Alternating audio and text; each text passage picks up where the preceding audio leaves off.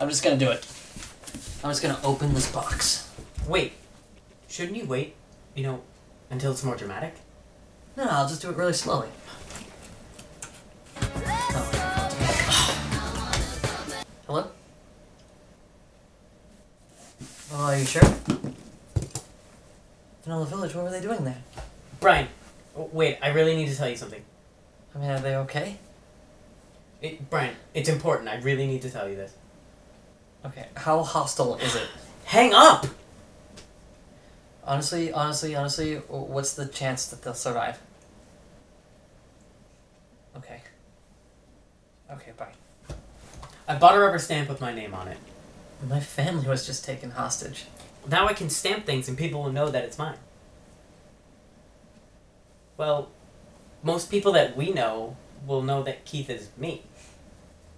Okay. So, you know, I, I'll stamp things and they'll know that it's mine. Well, but oh wait, what if somebody else has my name?